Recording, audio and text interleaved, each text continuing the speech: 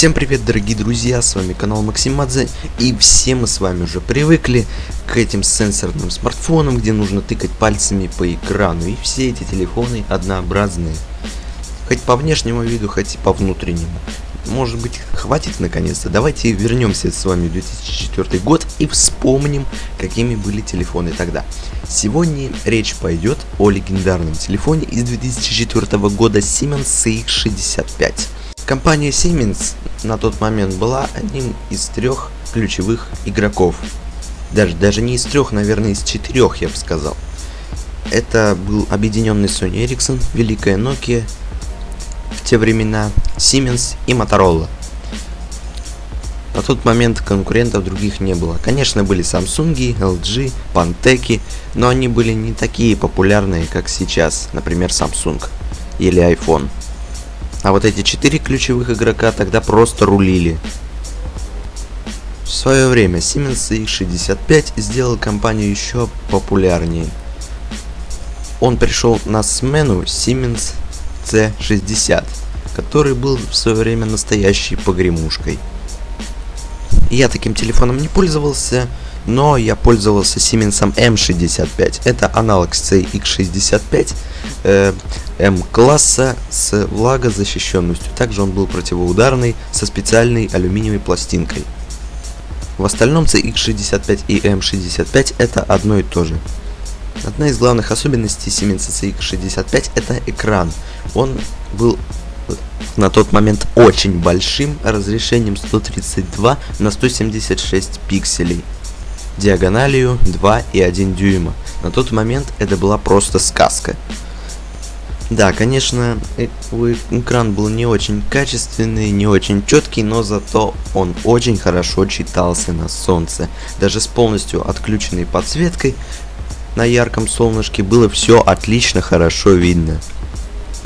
Обладатели таких телефонов могли этим без проблем похвастаться. В 2004 году еще многие пользовались телефонами с монохромными дисплеями.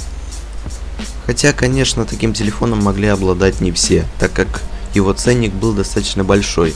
На тот момент он стоил около 270 долларов. В наших единицах это было в районе 8000 рублей. В 2004 году это были просто сумасшедшие деньги. Хотя, в принципе, телефоны тогда действительно стоили очень дорого. И в то время даже были те люди, которые не имели сотовых телефонов. Хотя, в принципе, массовое помешательство на них выпало где-то на 2003 год примерно. Несмотря на крутой экран, у CX65 все равно были конкуренты. Один из них это Nokia 6230, который умел проигрывать, например, MP3. CX65 это, к сожалению, делать не умеет. Ну ладно, об этом чуть-чуть попозже.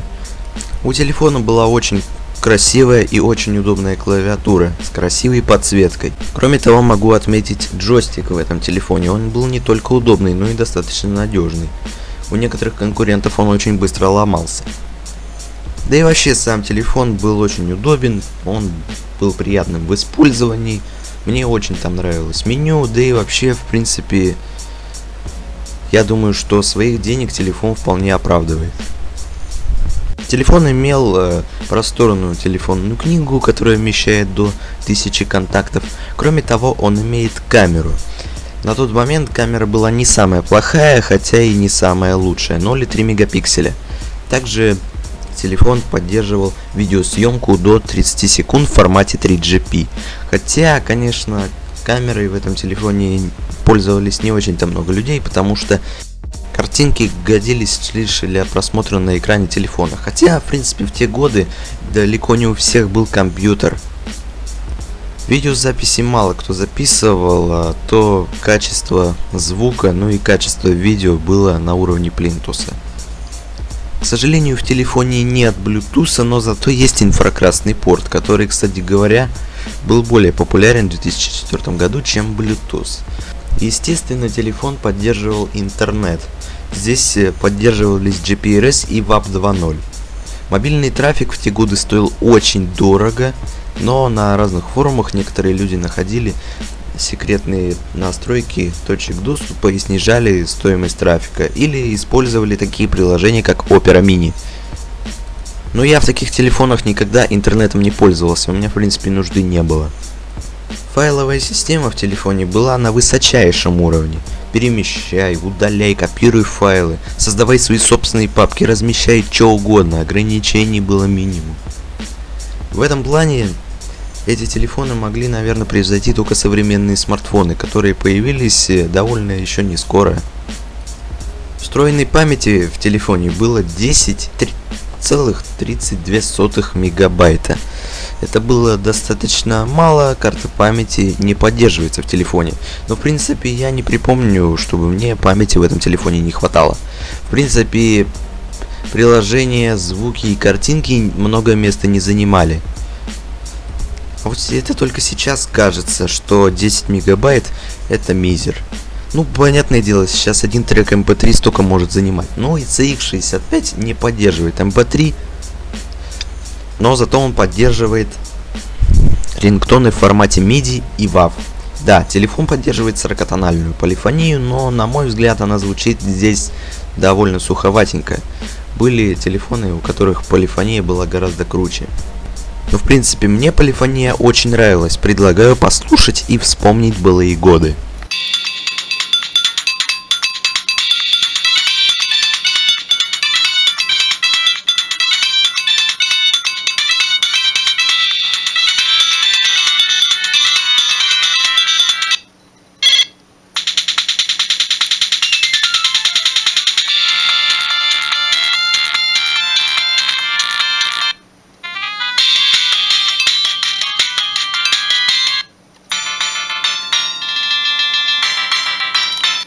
Как я уже сказал, телефон также поддерживает формат WAV. Такие рингтоны звучат почти как MP3, эм но с таким динамиком музычка все равно похрипывала.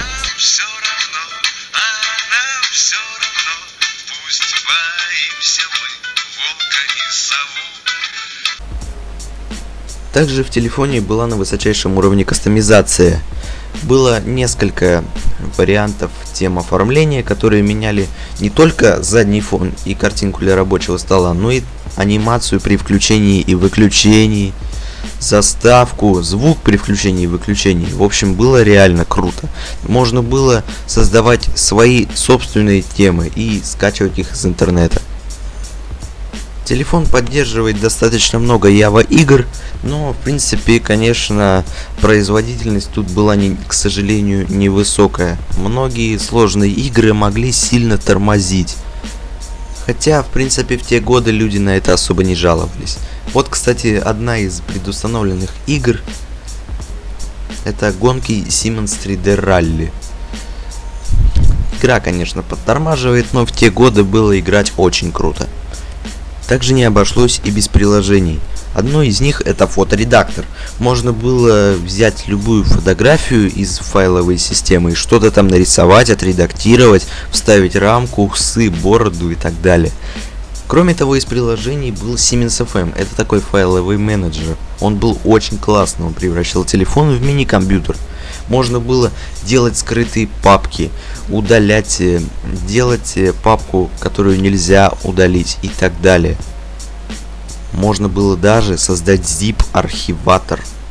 Да-да, только представьте себе.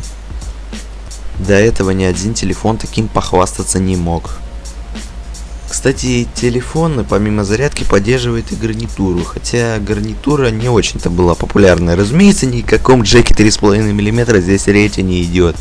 Он появился только в 2007 году.